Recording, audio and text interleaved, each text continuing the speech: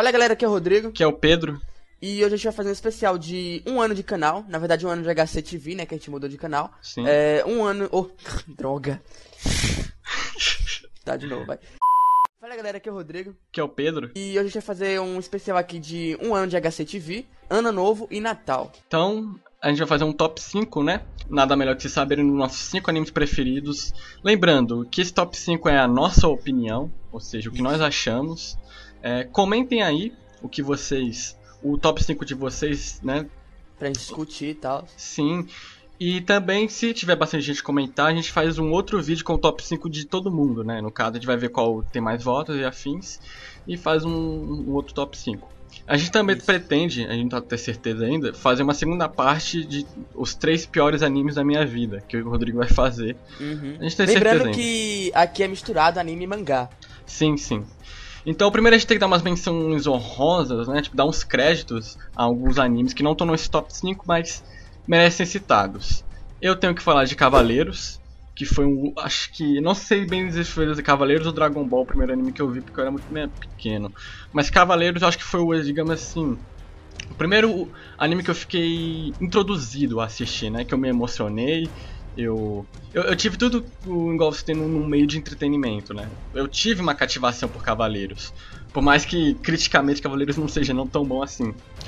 O, o meu é o Dragon Ball. Esse eu tenho certeza que foi o primeiro anime que eu assisti. Esse foi o anime que, sabe, me prendeu primeiramente, assim, pelo. Por ser de luta, né? E um moleque, assim, criança, já, já curte essas paradas. Então. Dragon Ball é um anime que me prendeu muito. Hoje em dia já não acho Dragon Ball tão coisa assim, só acho porrada e tal. Mas é um anime que merece destaque na, na minha vida, entre aspas, porque foi um anime que me prendeu, sabe? Um anime que eu assistia na TV Globinho, que eu procurei na internet. Sim. E é isso. Eu tenho que fazer uma menção honrosa também pra Naruto Shippuden. Eu acho que nessa você tá comigo também, né? Isso. Porque Naruto acho que foi o primeiro shonen assim que não seja antigo, tipo Dragon Ball, Yu Yu Hakusho, é, Cavaleiros, que eu fui ver na internet. Eu busquei pra ver na internet. É, no meu caso, eu vi o, o primeiro no, no SBT, só que eu não gostava muito. Aí o Pedro me fez é, assistir, eu curti e tal. Há, há uns dois anos atrás isso, né? Isso, isso. Então, tem dar os créditos pro Naruto, por mais que hoje a gente tenha uma, uma crítica diferente de Naruto, né? Enfim. Totalmente diferente. É, eu também tenho que dar uma menção honrosa é, pra Guren Lagann, que eu acho que foi um dos primeiros animes, assim, fechados de 20 e poucos episódios que eu vi na internet, por mais que até hoje não tenha terminado Guren Lagann, por pura preguiça e puro descuido. Mas Guren Lagann foi, tipo assim, eu entendi a narrativa de o que era um anime, né? Porque até então eu só conhecia algo longo, que tinha, sei lá, 100, 200 episódios, né? Dragon Ball, One Piece, eu conhecia esses títulos, não conhecia muito. O máximo que eu conhecia alguns, epi- alguns de comédia pequeno, nada muito sério. Então Guren Lagann foi uma boa experiência pra mim. Sim, sim. Eu tenho que falar também de Zet Bell. Zet Bell foi um anime que eu assisti muito na minha infância. Eu acho que até mais que Dragon Ball. Porque eu curtia ver aquelas lutas que os caras falavam no livro e tal. A trilha sonora, eu prendia muito a trilha sonora. Acho que foi o único anime, assim, quando eu era criança, que eu fui pesquisar a trilha sonora na internet. Aham. Porque eu sempre curti. E quando acabou o anime na TV Globinho, eu fui pesquisar na internet. Eu acho que foi o primeiro anime que eu pesquisei na internet. Você foi a fundo buscar o assunto, mesmo. né? Isso, isso. Zet Bell foi um anime que me prendeu muito. Eu também tenho que fazer uma menção honrosa a Cowboy Bebop, que não tá no meu top, mas vai aparecer nesse top aqui. Porque Cowboy Bebop, ele foi algo que me introduziu no, no espírito de música, de aventura muito bacana. O melhores jazz, né? Isso, o Blue, uma das melhores experiências que eu tive com o anime. Não tá aqui no meu top 5, mas vamos lá. Por último, por último, meu, é, eu queria citar o Fate Zero, que é novo, né? É um anime atual. Do Mas. Gin, né? Hã? Do Gin Robot. Isso, isso. Que eu comecei achando que ia ser um anime normal, sabe? Os caras em busca de um. De um troféu, entre aspas, que eu não lembro o nome do negócio. É o Grau. Isso. E o anime conseguiu completamente me surpreender, cara, porque o enredo, sabe, tipo, é aquele negócio clichê, mas eles mudam completamente o enredo. Eles conseguem fazer o diferencial. Uma Parece que vai ser um torneio, né? E ficar algo muito foda, com um final super foda. Isso, é uma coisa que me surpreendeu muito, então vale a pena citar esse aqui. Então vamos lá pro nosso top 5? Isso, bora.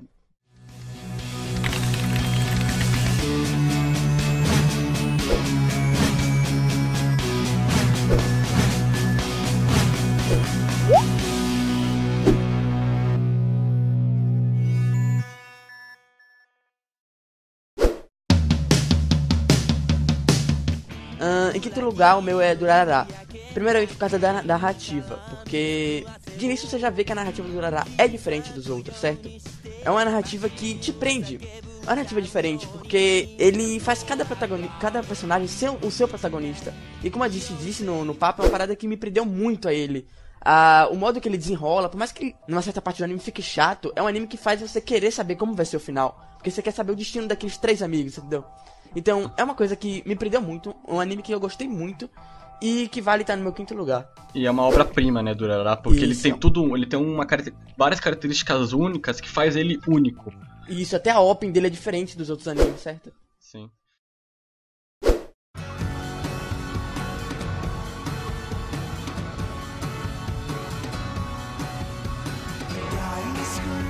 Meu quinto lugar, eu posso estar tá sendo exagerado, eu posso estar tá sendo muito exagerado, aliás. Higashi no Eden é um anime simples, é um anime de 11 episódios com dois filmes. Não é algo que você vai ver e vai mudar a sua vida. É um anime legal, bacana, mas o que faz ele estar tá no meu top 5, meu quinto lugar, é simplesmente uma coisa, é a mesma coisa que Durarara foi pro Rodrigo. Higashi no Eden é uma obra. Ele, ele tem toda uma característica, ele tem uma trama tão certinha, né? Ele tem um, um, andamento tão certinho, por mais que os filmes eu não goste muito, mas é uma questão de narrativa.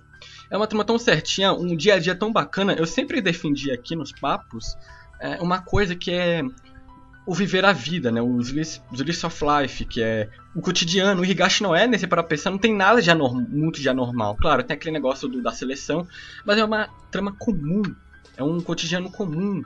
E tem um desafio, que é aquele negócio dos 8 bilhões, né? De reconstruir o Japão, refazer o país, que faz um, um politicamente muito interessante, que me atrai muito. A arte também me cativou bastante, porque se você parar pra pensar, geralmente hoje em dia, né, a grande maioria, não todos os animes, te puxam pra arte com luz, efeitos, e Gashi no Eden é no puro traço. É, é, um traço puro ali. Não tem muita luz assim que diz, que faz, nossa, que luz foda. Não, é, é realmente ele tem uma arte foda no traço. Se falar que Higashi no ele dá bastante destaque aos personagens, né? Você vê que.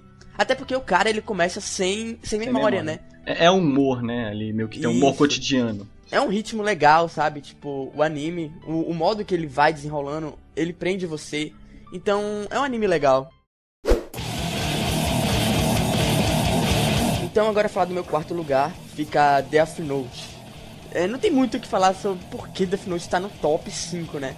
Mas Death Note é aquele anime que ele é bem diferenciado dos outros porque você não vê muito anime que tenha tanta estratégia assim como Death Note, certo? Não, aliás, uma estratégia bem colocada, né? Porque é uma estratégia de gato e rato e, e cachorro, né? Tem, tem um Isso. terceiro ali. Um anime que ele tem bastante estratégia e, tipo, você acha que vai ser só aquilo durante o, o anime inteiro. Realmente é. Mas ele consegue te surpreender bastante em como aquilo é. Naquilo, como aquilo segue. Você fala que tem aquele toque de coisa sobrenatural, né? Que é o Death Note. Uhum. Então você fica querendo saber se ele vai descobrir o nome do L e tal.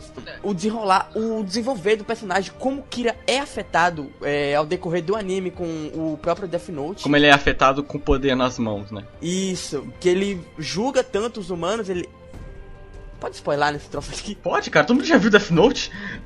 ele julga tanto os, os humanos que ele acaba sendo um deles. Os humanos sujos que ele acaba virando um deles, certo? Então, é um anime que pareceu ser que ia ser, pareceu que ia ser só aquilo durante o, o anime inteiro. Então é por isso que ele tá no meu quarto lugar. E bom, não preciso falar nada de Death Note, né? Todo mundo já assistiu Death Note aí. O conceito de justiça eu acho muito bacana, tudo mais. E explico tudo o que o Rodrigo falou.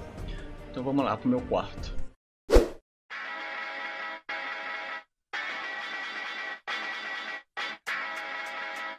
Meu quarto lugar é Gantz, o mangá, não anime.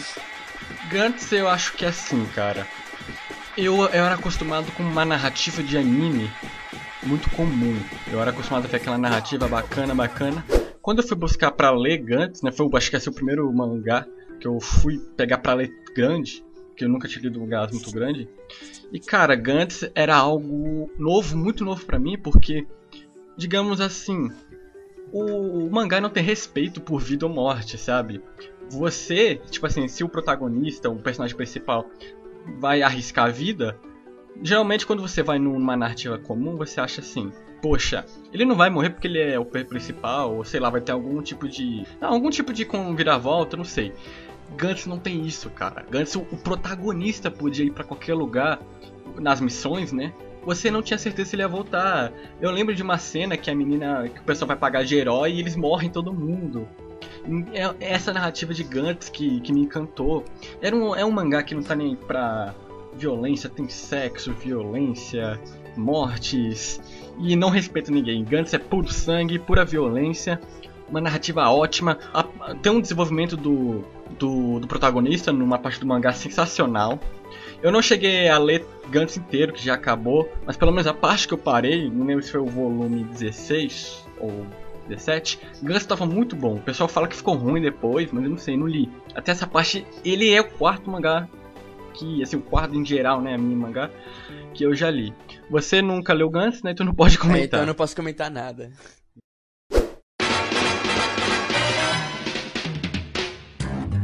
Então, meu terceiro fica Cowboy Bebop. Porque é um anime que eu não, eu não pretendia assistir. Eu conheci ele por um MV que o Pedro me passou, sabe? Então, tipo. É aquele uh... que você aposta, né? Ah, vou ver aqui porque tem umas cenas legais. Isso. Daí. Eu olhei, eu olhei o, a, a cena do Bebop naquele MV e vi que ele parecia ser um, um anime normal, cotidiano. E se você for parar pra ver, os meus dois últimos animes do, do coisa eram de animes cotidianos. Então, é um tipo de anime que eu me interesso. Na, no, eu lembro que no anime tinha aquele negócio de porrada, mão mesmo, não tinha magia e tal. Então, foi um anime que eu comecei a assistir por, por interesse de como ia desenrolar a história do. Do MV, do, do que eu vi no MV. Ah, você queria ver a cena do MV, sendo que você nem viu, né? Porque o MV ele tinha. Eu lembro que tinha cenas do, do filme. filme. É. Isso. então, é, foi um anime que eu achei que ia ter um, um enredo foda, mas na verdade cada episódio é. Era separado, né? Era uma aventura é, bem. É independente um do outro, são poucos aqueles que ele tem continuação. Mas mesmo assim foi um anime que eu simplesmente amei, cara. Não, não sei porquê, mas tipo, mesmo ele não tendo um enredo foda, porque não tem, foi um anime que eu, eu amei pelo, pelo, pelos personagens. Os personagens me prenderam. É, esse o... é o maior pró de Bebop, né? O carisma Isso. dos personagens. O universo de Bebop conseguiu me prender. O, a trilha sonora que eu nem me interessava por jazz, cara. Eu passei a gostar de jazz por causa de Bebop. Então, hum. Bebop é, é, algo diferencial em todos os animes. É um anime, sabe, único, como igual a Durarará. Então é por isso que ele tá no meu terceiro lugar. É um anime que eu amo muito Dura, é, Bebop. Eu não preciso falar de Bebop, né? Eu já, já acabei falando. Minha menção rosa. Então vamos pro meu terceiro e segundo lugar.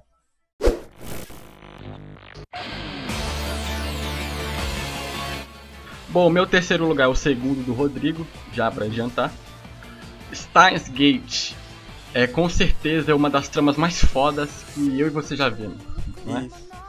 Que é, é aquela trama que você acha que vai ser eles voltando no futuro e tal, ou Voltando no passado. Você acha que vai ser um viagem no tempo exagerado, né? Isso, aqui é negócio de, de, de volta pro futuro, o filme. Só que não é isso, cara. É desenrolar, ou é, vira reviravolta ao anime inteiro. É um anime imprevisível, você não consegue prever o que vai acontecer no próprio, próximo episódio.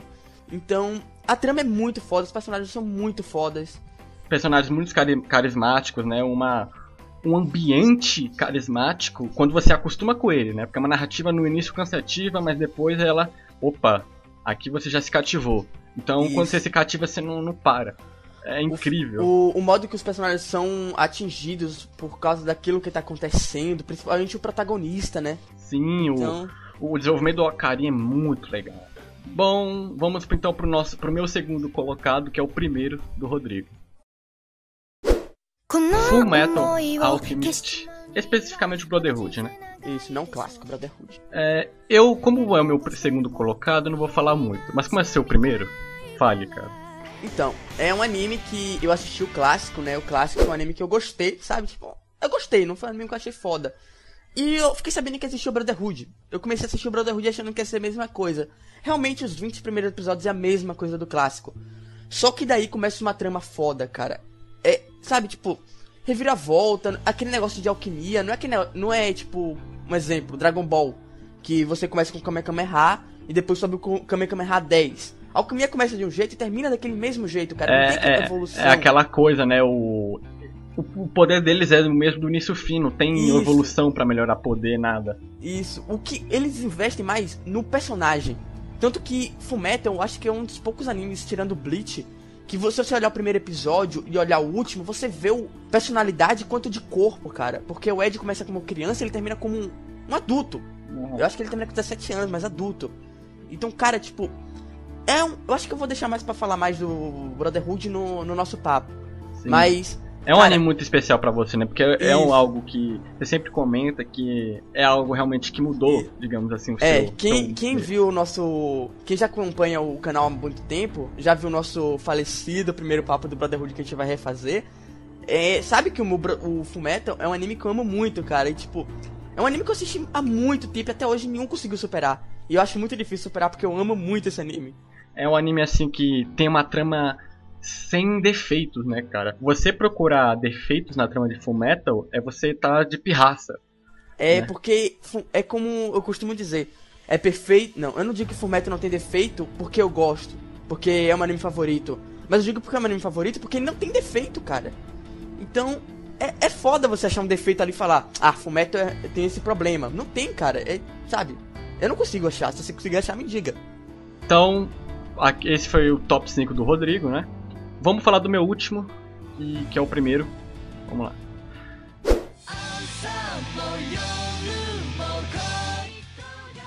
Meu primeiro colocado é Code Geass. A franquia em geral, mas especificamente o anime. Code Geass é mais ou menos o que Fullmetal é pro Rodrigo. Eu simplesmente me cativei demais com o anime, eu não parava. Você também me lembra, você chegou a falar que você não parava de assistir Fullmetal, você pegou, né? Eu não Aham. parava também de ver Geass.